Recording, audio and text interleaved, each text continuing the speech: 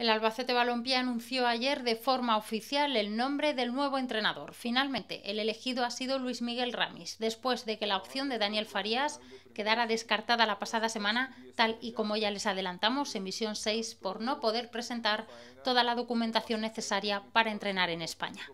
De casi manera in extremis, el Albacete se puso las pilas para cerrar la contratación de un técnico cuando ya prácticamente todos los banquillos de segunda división estaban ocupados.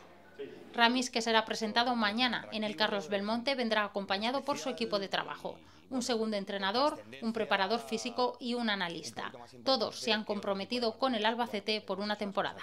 El técnico tarraconense ha dirigido con anterioridad a los equipos de las categorías inferiores del Real Madrid al Castilla, en Segunda B, tras la marcha de Zidane al primer equipo y la pasada temporada al Almería. El equipo andaluz fue el que precisamente le dio la oportunidad de debutar en Segunda División, aunque la experiencia no resultó del todo positiva, ya que fue cesado en la jornada 14 precisamente tras perder en Albacete por 2-0.